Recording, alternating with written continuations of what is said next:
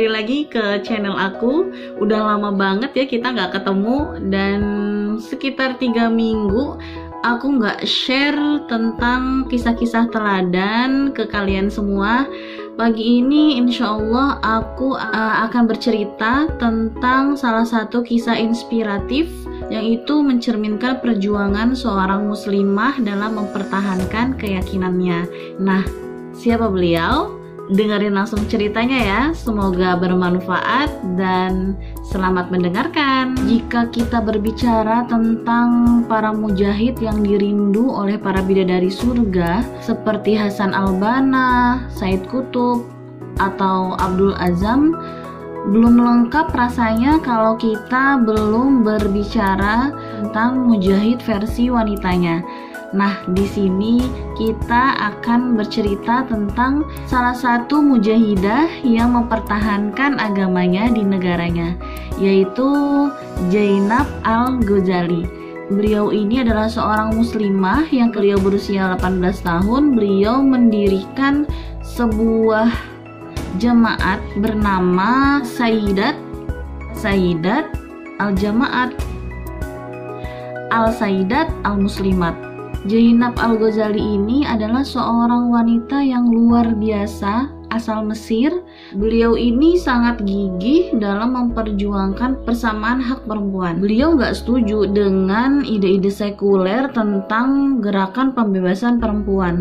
Oleh sebab itu, beliau mendirikan jemaat Asaidat Al-Muslimat Perhimpunan ini didirikan untuk melahirkan generasi dai-dai perempuan yang memperjuangkan hak-hak dan status perempuan berdasarkan syariat Islam. Mereka yang bergabung dengan Zainab Al-Ghazali di Perhimpunan As-Saidat Al-Muslimat ini meyakinkan masyarakat bahwa Islam memberikan peluang yang besar untuk para wanita dalam menjalankan perannya di dalam masyarakat, baik itu memiliki pekerjaan, bebas mengeluarkan pendapat, terjun di dalam politik, ataupun yang lainnya, dengan tetap tidak mengesampingkan fungsi utama wanita dalam mengurus rumah tangga dan menjadi seorang ibu. Zainab Al-Ghazali ini mengingatkan kita pada sosok yang sangat dekat di negeri kita, yaitu R.A. Kartini. Kalau kita ingat tulisan Kartini dalam bukunya Habis Gelap Terbitlah Terang, ini mengandung gagasan dan kecaman terhadap Barat, maka buah pena atau tulisan dari Zainab Al-Ghazali ini menyeret beliau ke dalam tahanan atau penjara. Inilah beberapa kisah koromah Zainab Al-Ghazali dalam bukunya. Di kisah ini nanti Zainab Al-Ghazali adalah orang pertama karena ia yang menceritakan pengalaman pribadinya. Nah, apa aja? Selamat mendengarkan dan jangan di skip ya karena ini insya Allah sangat menginspiratif kita dan banyak sekali hikmah yang bisa kita ambil dalam kehidupan sehari-hari. Oke yuk. Perjalanan ke kamar tahanan 24 dalam perjalanan ke kamar tahanan nomor 24 saya diiringi dua orang yang memegang cambuk. Saya sengaja ditempatkan di ruangan yang berbeda dalam penjara supaya saya bisa melihat hal-hal mengerikan yang terjadi di sana. Mata saya hampir tidak percaya dan tidak ingin menerima kebiadaban yang terjadi di sana. Diam-diam, saya mengamati beberapa kaum muslimin yang tergantung di udara dengan tubuh telanjang dan dicambuk. Sebagian yang lain dibiarkan bersama anjing-anjing liar yang mengoyak tubuh mereka. Sebagian yang lain lagi dengan wajah menghadap ke dinding menunggu giliran. Ironisnya, saya tahu bahwa mereka adalah orang-orang soleh, pemuda-pemuda yang beriman. Saya sangat menyayangi mereka seperti rasa sayangku kepada anak-anakku sendiri. Terlebih, mereka sering hadir di majelis tafsir dan hadis yang diadakan di rumahku maupun di rumah-rumah mereka. Pemuda-pemuda Islam itu disiksa satu persatu. Mereka dihadapkan ke dinding dan dicambuk dengan kasar. Darah mengalir di dahi mereka, dahi yang tidak pernah tunduk kepada siapa pun kecuali Allah. Cahaya tauhid bersinar dari wajah mereka, bangga berada di atas jalan Allah, yaitu jalan kebenaran. Salah satu dari mereka berteriak kepada saya, "Ibu, Semoga Allah menguatkan Anda. Anakku, ini adalah janji kesetiaan. Bersabarlah keluarga Yasir, imbalanmu adalah surga. Pria yang menjagaku memukul kepala ini begitu keras hingga mata dan telingaku bergetar seperti terkena sengatan listrik. Dan cahaya dari dalam penjara membuat saya sadar akan banyak hal. Semakin banyak tubuh yang disiksa mengisi tempat itu. Saya pun berujar menentang. Biarlah ini demi Allah, biarlah ini demi Allah. Di dalam kamar nomor 24, gigitan anjing-anjing liar. Dengan nama Allah, semoga Allah selalu merahmatimu. Saya terus mengulang-ulangnya. Setelah itu pintu dikunci dan lampu yang terang dinyalakan. Sekarang tujuan mereka terungkap. Ruangan itu penuh dengan anjing. Jumlahnya sangat banyak hingga tak terhitung. Aku takut. Kupejamkan mata dan meletakkan tangan di dada. Dalam hitungan detik, anjing mengeram mengelilingi tubuhku dan aku bisa merasakan gigi mereka merobek setiap bagian dari tubuhku. Aku kepalkan tanganku erat-erat di ketiak. Aku mulai menyebut nama Allah. Ya Allah, ya Allah. Anjing-anjing itu tak henti-hentinya mencabik-cabik kulit kepala, bahu, punggung, juga dada. Semua tubuhku terkoyak tanpa sisa. Saya berulang kali memanggil nama Robku. Ya Allah, Buat aku tidak terganggu oleh apa pun kecuali Engkau. Biarlah segala perhatianku hanya kepada Engkau saja. Engkau Robku, yang Maha Esa, Maha Abadi. Bawalah aku dari dunia ini. Alihkan perhatianku dari semua fenomena ini. Biarkan seluruh perhatianku hanya kepadamu, Buat hamba berdiri di hadapanmu, anugerahilah hamba ketenangan, berilah hamba pakaian cintamu, anugerahilah hamba kematian di jalanmu, dan cinta kepadamu. Ya Allah, teguhkanlah diri hamba di atas agamamu. Aku terus mengulang kalimat-kalimat itu dalam hati hingga beberapa jam, sampai akhirnya pintu dibuka. Anjing-anjing buas diambil paksa menjauhi tubuhku dan aku dibawa. Aku menyangka pakaianku berumuran darah karena aku yakin anjing-anjing itu telah menggigit setiap bagian tubuhku.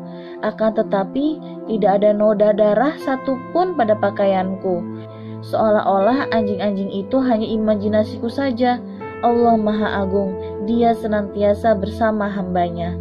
Saya kemudian bertanya dalam hati, Apakah diriku pantas mendapat semua karunia ini dan hadiah dari Allah?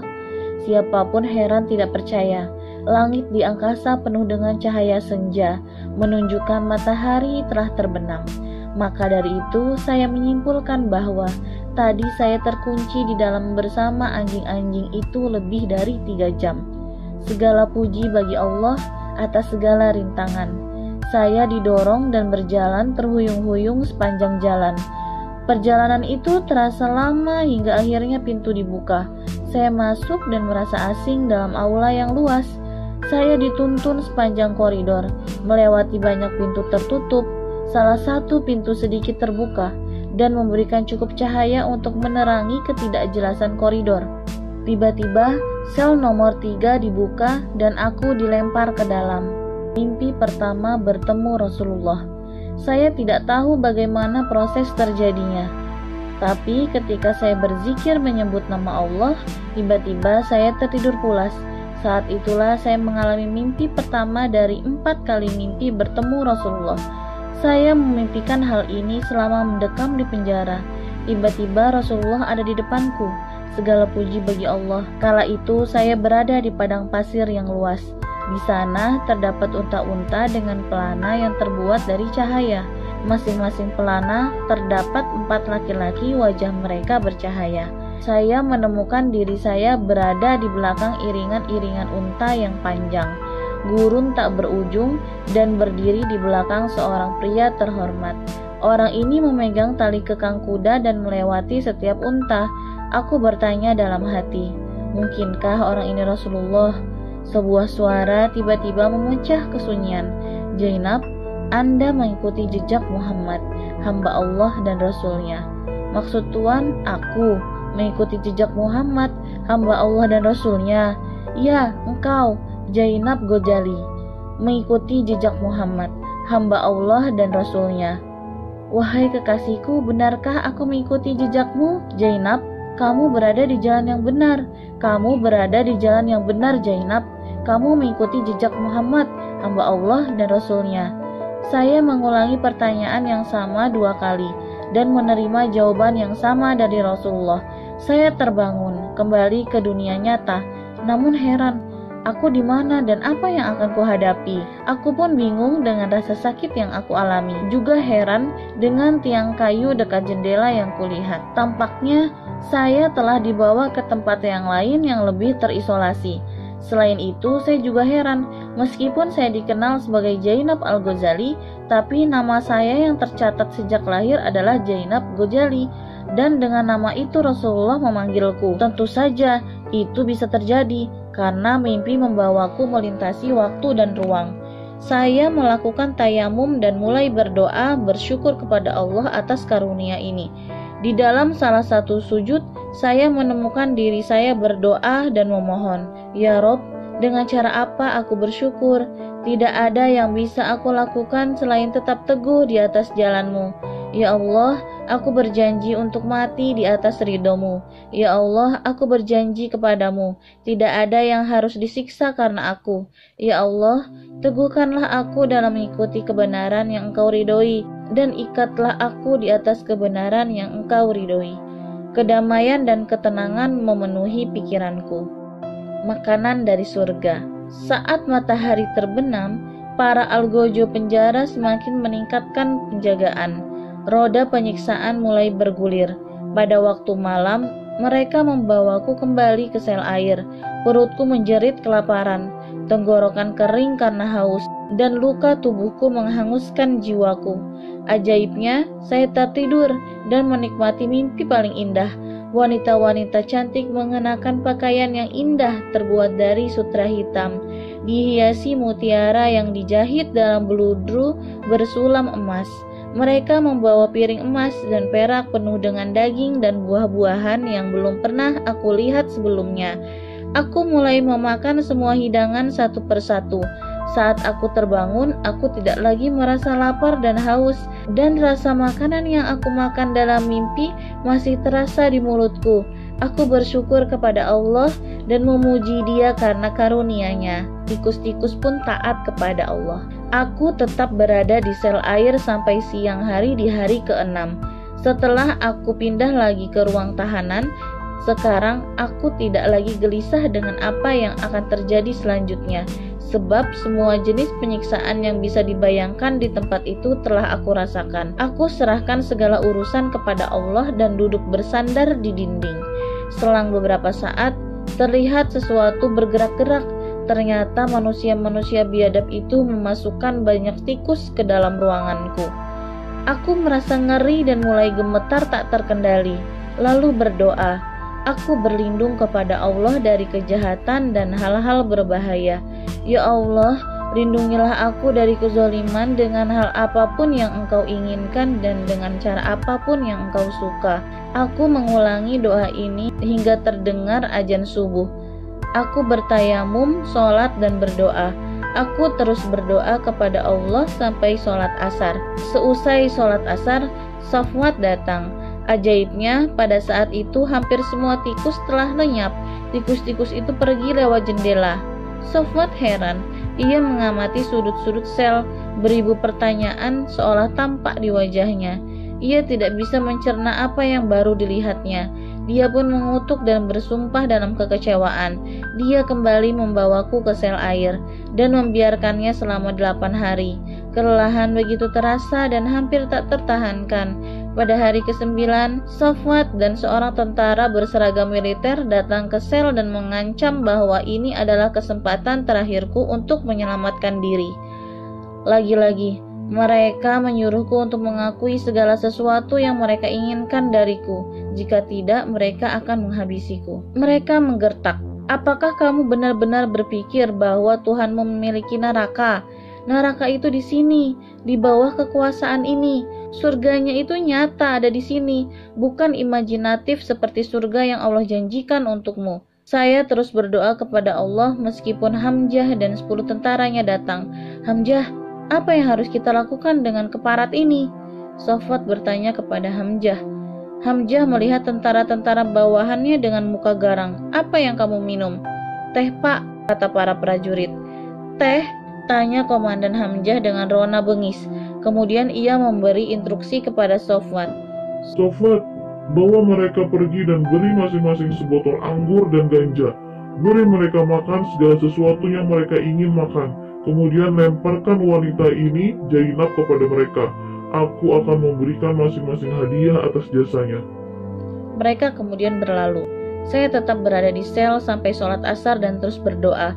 Tiba-tiba pintu terbuka dan Sofwat bergegas ke arahku, menarikku dengan lengannya. Lantas Riyad angkat bicara.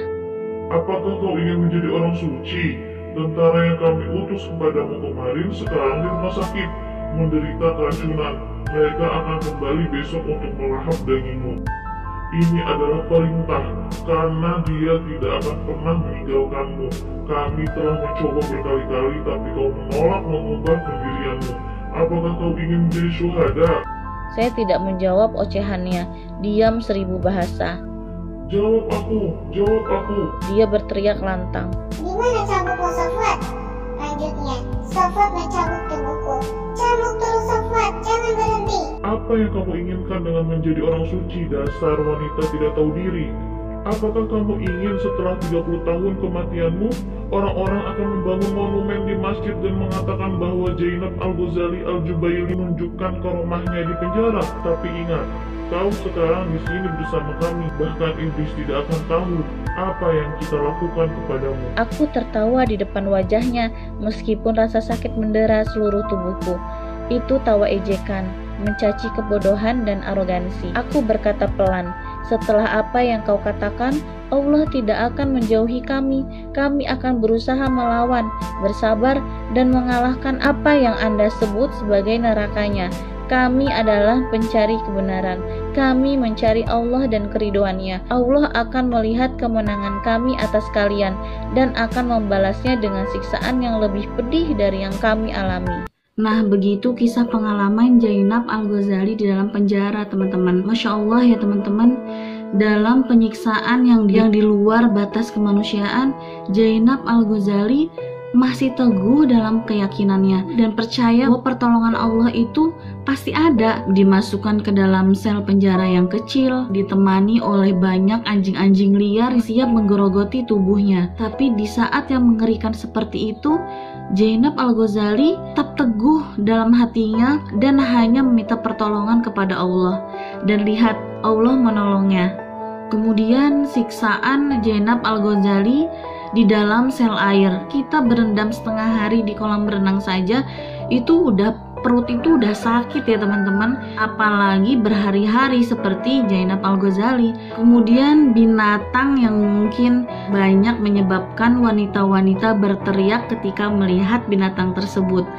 Binatangnya kecil tapi cukup buat kita teriak gitu ya. Ini diberikan secara sengaja yaitu tikus-tikus banyak tikus yang dimasukkan ke dalam selnya Zainab Al-Ghazali kita ada satu tikus di rumah saja udah gelisah gitu ya pengen ngeluarin gitu ini banyak sekali tikusnya tapi Masya Allah Allah menolongnya kembali dengan tikus-tikus tersebut keluar dengan sendirinya melewati jendela-jendela sel lagi-lagi ini adalah karomah dari Allah Subhanahu wa taala untuk Zainab Al-Ghazali. Aku nggak bisa bayangin teman-teman di mana ketika berjalan kemudian ada seekor anjing di depan kita saja kita sudah ingin mencari jalan lain. Ini banyak sekali anjing liar di hadapan matanya. Kemudian sel air berhari-hari. Lalu tikus-tikus liar yang menemaninya di dalam sel. Belum lagi penyiksaan-penyiksaan yang lainnya. Ya Allah, teman-teman, itu benar-benar mengerikan sekali. Tapi semoga itu, itu dapat menginspirasi kita untuk lebih teguh lagi untuk meneguhkan kembali keimanan kita menjadi seorang muslimah. Setelah enam tahun di penjara pada tanggal 9 Agustus, Zainab Al-Ghazali dibebaskan dari tahanan. Ini sekaligus karena pergantian kekuasaan dalam pemerintahan Mesir. Setelah Zainab keluar dari penjara, bebas dari penjara, Zainab tidak berhenti dalam dakwahnya. Beliau berdakwah ke seluruh penjuru negeri, Arab Saudi, Uni Soviet, Kuwait, Yordania, Aljazair, Turki, Sudan, India, Prancis, Amerika, Kanada, Spanyol, dan masih banyak lagi. Setelah bebas dari penjara pun, beliau masih mampu menulis beberapa karyanya yang salah satunya dengan judul Ayamun Min Hayati, yaitu Hari-Hari dari Hidupku. Yap teman-teman, hanya kekuatan akidah yang menghujam di hati setiap muslim yang mampu mengantarkan kita kepada keriduannya. Meskipun pengorbanannya harus bertubi-tubi. Zainab menghabiskan sisa hidupnya dengan dakwah Islamiyah. Beliau meninggal dalam usia 88 tahun pada hari Rabu tanggal 3 Agustus tahun 2005. Semoga kisah mujahidah ini bisa menjadikan kita lebih mencintai perjuangan di jalan Allah dan menyeru kepada kebaikan. Selamat jalan wahai muslimah solihah nan tangguh. Semoga semangat dan keteguhanmu bisa tertanam pada muslimah masa kini. Oke teman-teman, di sini dulu kisah teladan kisah tentang Zainab Al-Ghazali. Semoga bermanfaat. Sampai bertemu next time. Jangan lupa like, comment, and subscribe. Terima kasih. Wassalamualaikum warahmatullahi wabarakatuh.